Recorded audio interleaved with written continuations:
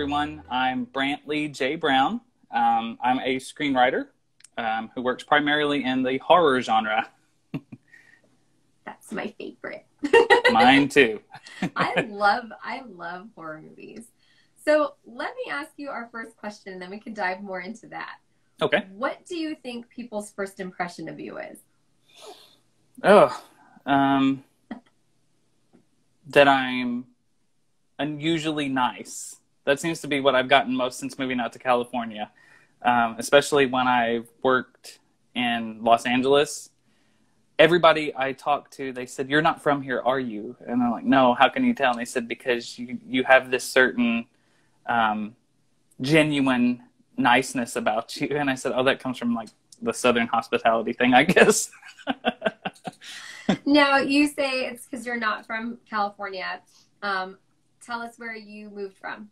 Um, I grew up in a small town in southeast Missouri called East Prairie, which uh, has more grain silos than stop signs. Um, and then uh, later in life, uh, I moved near Nashville, Tennessee. Uh, it was close enough to home, but far enough away for me to kind of try and spread my wings. And I liked Tennessee a lot. Um, and it's where I met my fiance. So, you know, it, it was obviously where I needed to be at the time, but there's not much of a market for a screenwriter there. So after more li- music town, right? yeah, yeah. So after living there for about four years, um, my fiance AJ was finishing college, and we were kind of at this point. You know, it was like, well, what do we do next? And I just kind of threw the idea out. Well, let's go to California, thinking that he would, you know, shrug it off like, yeah, yeah. And he thought about it for a total of eight hours, and he was like, let's do it. and So tell me how long you and AJ have been together. six years as of May 23rd of this year. Hey, that's my birthday. Hey! well, happy belated birthday. Well, that's just a good date. So it's It is a good date. just fine. and you said no date set. No, not yet. Um, I kind of stole the thunder from him when it came to the proposal. He always envisioned that he was going to be the one to, to pop the question. And I was getting kind of impatient, I guess. And so I planned the whole thing out. I um, took him to our first restaurant that we ever went on a date to. And I asked him there. And he decided, he said, okay, well, fine. You asked, you, you got to pop the question, but uh, we're not going to do the wedding until I can give you the wedding that I think, you know, you deserve. So I was like, I can live with that. And that's fine. You know, I, I'm not in any rush now. I, I don't think he's going anywhere. I mean, we moved across the country together. So, you know, I don't think. I think that's that's perfectly fine. And then you know, COVID delays everything, anyways, especially here Oh. in California. So so yeah. it bought AJ some time. So tell him he's he's good. Yeah. So I actually um, two and a half weeks ago, Nick and I just got married, and we've Mhm. been together for eight and a half years. And we, um, he actually did something similar. He asked me to marry him in the spot where we had our first date, also at the end of the Santa Barbara Pier. But um, I, I just, you just postpone and you do what you can. So I don't think Right. he's going anywhere. I think it will be just fine. Yeah, I. In fact, I told him, but but I told him I have always envisioned a very simple wedding. You know, nothing too big and fancy. And he's over here. He's like, "Oh no, we should, we should have it. Hey, you write, you write horror movies. Maybe we should do a horror themed wedding." And I'm like, "No." You're like, I do that every day. I don't want to do that Right. on Monday. that one I want to be kind of magical and pretty and leave the blood and guts in, in my in my writing. Right. right. So let's talk about that. How did you get into writing horror film? Uh, well, let's see. When I was still in junior high, I was already a huge horror fan. My dad, against my you know my mom's wishes. Let me get started early watching you know the old movies nightmare on elm street halloween friday the 13th so i knew those movies from beginning to end you know by the time i was 13 years old. And i had always liked to tell stories but it wasn't until then that one of my um, teachers actually encouraged me to start writing my stories down. And I wasn't quite comfortable enough to put my own uh, stories on paper. So, what I decided to do um, as sort of like a practice run, um, I decided to write a script based off of one of the movies that I liked. And the movie that inspired me the most was Halloween. So I wrote a full length, wrote a full length um, Halloween script, and I let all of my teachers and my classmates read it, and they couldn't believe that I actually wrote it, and it gave me confidence. And from then, I never stopped writing. So from 13 years to now, I'm 36. So I, you know, I've been writing for a long time, professionally for three, but I've always, I've always been writing. I love that. Okay, so I have to know because horror is my favorite too. Like mm-hmm. when I was a little girl, we went to get ice cream and to the video store next door, and we were allowed to each pick out a movie, and I always picked a horror movie. And I'm talking like age eight. I'm uh-huh. watching The Nightmare on Elm Streets, The Halloweens. I saw Halloween five in the movie theater at the Red Rock Cinemas in Las Vegas. Oh wow! See, six was uh, part six was mine. Um, I'd seen all of them on video because of video store rentals and things like that. And then in 1995, which about lines up whenever I decided to write it, because uh, I was 12, about to turn 13 when that came out, and my parents took me to see it. So that was my first horror movie in a theater, and uh, it kind of was the beginning of everything else. I, I it was such a frightening incredible experience sitting there watching this movie and it was kind of like oh i want to do this i want to i want to make people scared i can't explain but the, i think the season of like fall and halloween all in general is my favorite it's my favorite time of the year um, aj tells me that i am the most basic that you can be because the minute that it turns september 1st I'm going to the store and I've got my pumpkin spice latte uh, creamer and I've got my fall decorations coming out. I love it. I usually am very good. Like October 1, I'm in the front yard with all the gravestones, the skeletons, the this, yeah. the that. But this year, I'm just, I don't know. Are you having trouble this year getting into uh, the spirit?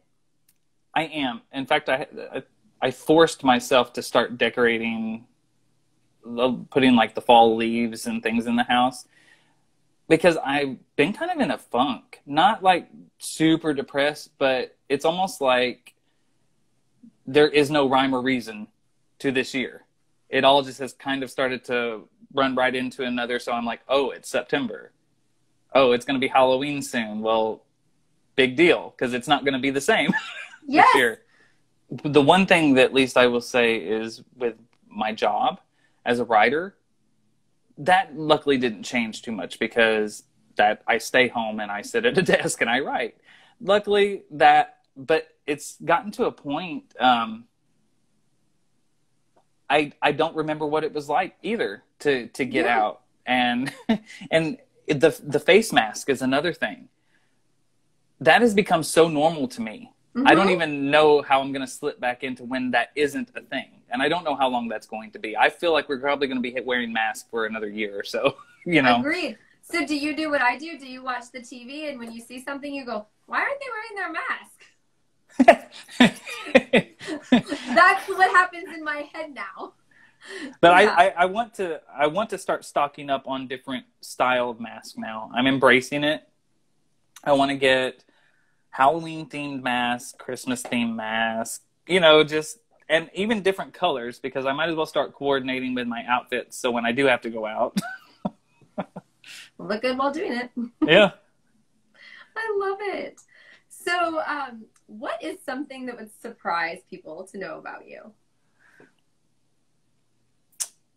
Well, that I'm as much as I am a huge horror fan, my absolute favorite movie in general is The Wizard of Oz. Ha! Yay! I love that movie. I do too. I, I have actually a little shrine to The Wizard of Oz in our movie room. It's mostly horror. There's horror posters, and there's a six foot tall mannequin with Michael Myers' outfit and mask on. But then right in the corner, I've got this collection of the Wizard of Oz figurines and the ruby slippers and everything, but it's just kind of tucked away. But I love the Wizard of Oz. It's it's probably my all time favorite movie. It's fantastic. Yes. It is so good. Um, I can't say so much for the play that I saw recently, but the movie, fantastic. the movie, is, and it, and I'm very glad that it is at least one of the films so far that Hollywood has not tried to. Yeah. no, I didn't. Because I think that's one that could actually be done very well now. Yeah, let's not give anyone any ideas. They've ruined enough of our childhood, don't you think? Oh yeah. Speaking of remakes, um, as a fan of horror films, um, what do you think of all of the remakes that have come out in the last ten years? Because I think that's all they've done. It's been I mostly remaking. Word boycott comes to mind. I um, I think it started. It seemed like back in 2003 with the Texas Chainsaw Massacre, which I did like that one. That one was well done. But I think it caused a big problem in the film industry. People saw that, ooh, we can remake a really old movie and it'll make a bazillion dollars. So let's remake all of them. And not all of them needed to be remade. A Nightmare on Elm Street still is perfect to this day. It stands the test of time. Halloween is perfect. It didn't need to be remade. no. How about uh, Poltergeist? We won't talk about the remake of Poltergeist. Thank you. I I like the first one, and I don't even know how to categorize that I could watch remake. Poltergeist one, two, and three. Granted, the original is the end all be all, but I Yeah. can watch it. I can quote it. I can all day, every day. I saw they were remaking it, and I think I actually cried. yeah, I tr- I tried to be optimistic, and Well, then you're nicer than me. Well, you know, because well, the thing is, the teaser trailer when they showed it, it just gave enough of a glimpse that there was still a glimmer of hope because it was like, oh, okay, it's different, but they're not um, going to take a dump all over the original. And then I saw the actual movie. I waited for it to come out in video. I didn't want to go to the theater and see it. Oh, it was so bad. Oh, it was so bad. I just I'll just tell you, I won't even see it. So there was just Yeah. no way. There was Yeah. no way. There's some things I just can't re. What is it? Um, remember when we could tape over things with VHS tapes or with cassette tapes? There's Yes. just some things I won't tape over. I do want to ask you about the um, team you're a part of, the Horror House Films. hmm So I want to ask you about that real quick before I ask you our last Oh, yeah. and of course anything else you want to share. But tell me a little about Horror House Films and how that group got formed and, and what you guys do. Um, well, Horror House Media started three years ago. Um, my friend and writing partner, Michael Cologne, uh, we had started working together on a feature script, and our friend Ray McCann Jr. was looking to start producing some short content to put online, and he he approached us about doing something horror themed and so we kind of just just started sending texts and phone calls and emails back and forth and the idea of horror house media came along. And we decided it would be a perfect platform to uh, show everybody what we could do in our strongest areas so i would be the main writer michael would direct them and ray would produce all of them. And so we did a short one called Soundbite. I don't know if you've seen it yet, but um, Soundbite was our first one, and it was four minutes. You know, nothing too involved. It was just basically what would have been like the opening scene of a movie. We released it on Halloween of that year, and it's ended up winning like eight awards, I think. yeah. That's Um, so cool. Yeah, and so from there we've now done. We just finished our fourth film, and it's coming out on Hall- around Halloween this year. I think it might even come out on Halloween. Okay, called so Bag of we get to know Tricks. what it's called?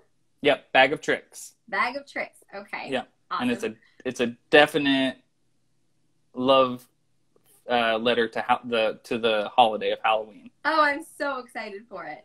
Yeah, I, I I can't see myself working in any other genre. I have dabbled in a few Christmas films, which whatever. and Girl, but somehow someone always dies. I don't know. well, you know, the thing is, um, they haven't been produced yet, but Michael and I have written two full length films that were geared for Lifetime. Um, they, I find them very fun and heartwarming, but I almost feel like uh, it was a struggle to write them.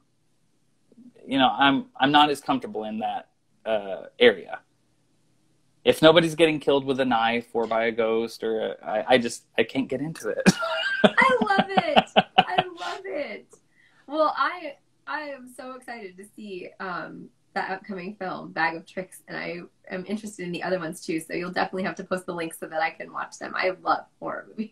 oh, I will, I will, um, and we're hopefully um, this new one that's coming out, Bag of Tricks. We're talking about turning it into a feature. So I'm actually working on that script now in my free time, which I have a lot of. Thank you, COVID. Right? New normal. yeah. How crazy. Well, I would be excited to see how that progresses. And please keep me posted and keep me in the loop and, I and allow me to help promote and share anything and vice versa. So, um, last but not least, if obviously post COVID and obviously maybe even without a mask, you were Mhm. walking down the street and you could tell people one thing about yourself, what would you want people to know? Hmm. I think this is going to sound so conceited because it's because I do it anyway. That's what AJ says I always do. it's like, hey, guess what? I'm a writer. he says I love talking about myself. But that's okay. Well, especially here, I find that that is the best way to survive in the film industry. Is you just have to be ready to tell people this is what I do. I love that though. I love that because we don't know about people that we pass by and we definitely don't know what they do. Yeah, and I don't know if you're like this, but sometimes when I have passed people, it's kind of fun to wonder. Like I'm like, I wonder what their story is, just by the way that their hair is fixed or the clothes they're wearing, and you're kind of like, hmm. Uh, hello, I want to know your story. How do you think this, Yeah. show, this show was born? Because so Nick will tell you, my husband will tell you that I'm nosy, but I really just actually am genuinely interested in people's stories. Like what you said is like I walk and I wonder, and then if we're at a restaurant or something, I have really good hearing. I can hear, and so then it makes me even more curious about the context and Mhm. really what's going on. So if you if you and I passed on the street and you um, or if we were sitting a couple tables away at a restaurant, I would just be naturally wanting to know like what you were about and what one of the one of the best places uh, um, to to be exposed to so many people I found was uh, when I've had to use the metro system there in Los Angeles because every single day when I I was working on a film set right before COVID um, hit and I would take the metro to get back and forth from where I was staying to set and the same time every day I would get on the same train, but it was never the same two people. And I got to noticing, you know, it was like there's just always so many different faces around me and so many different like I was the the people who play the guitar, you know, they'd be there some days and then there's people singing and then you'd have nurses sitting next to them looking very tired after, you know, their shifts and I was I, that was why I told AJ I said LA is probably one of my favorite cities to be in, but it's also one of the scariest because it's so it's so huge. It seems like it's almost impossible to get to know people on a very personal level Yep. Which is part of my motivation for putting everyone's stories out there is because, like you said, we try really hard not to judge others. Mm-hmm. But when you don't know, you have to make assumptions. Yeah. And sometimes they may not be the nicest or best assumptions. Right. Well, thank you so much for taking the time. I'm so happy to have met you. And oh, so, same. Same. I'm yeah. excited. yeah. This is. I I love it because it's been so long. It seems like since I've had a chance to actually have a conversation with people outside of my house. You know, I'm I'm very much trying to be as safe as possible, so I don't get out a whole lot and it's very nice to to just sit and chat. well, I've enjoyed it tremendously, but I should probably let you get back to your writing and let's talk anytime. Thank you so much. Thank you.